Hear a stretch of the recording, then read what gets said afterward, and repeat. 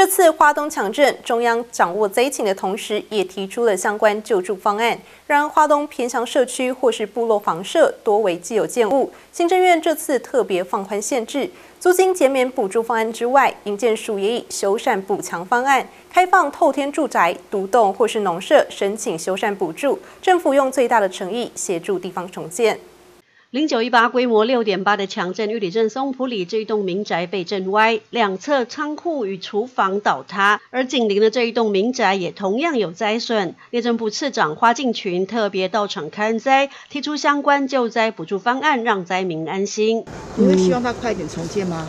当然是希望越快越好，大家赶快恢复正常生活，那是一定的。嗯，因为大家就可以，呃，就是。能够忙自己的事情啊，大家就不会为了这个事情超烦。那接下来有什么打算？这样？没不知道呢，就是就看政府怎么那个去弄这种房子。那还是住吗？还是要住？就愿意愿意就直接修缮这个房子。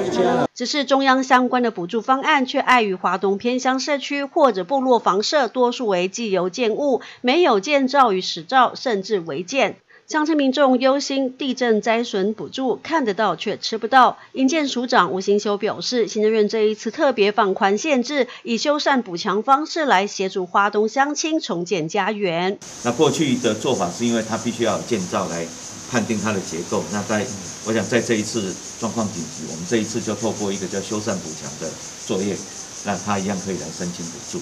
那对于这个独栋的透天或农舍。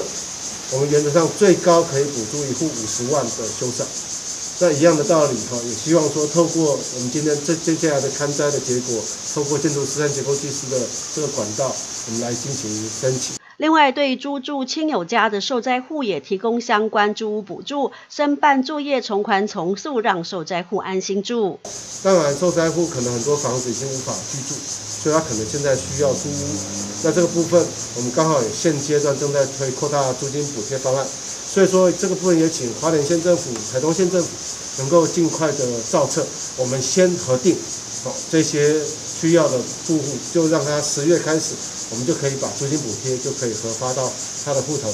那后续如果还需要一些租约的一些呃文件或证明补补补齐这些文件，事后再来补没有关系。这一次的强震灾还有补助方案，内政部次长花敬群强调，也不仅限于华东纵谷中段八个乡镇市的重灾区，举凡华东地区的房舍灾损皆可申请。记者石玉兰、玉里镇采访报道。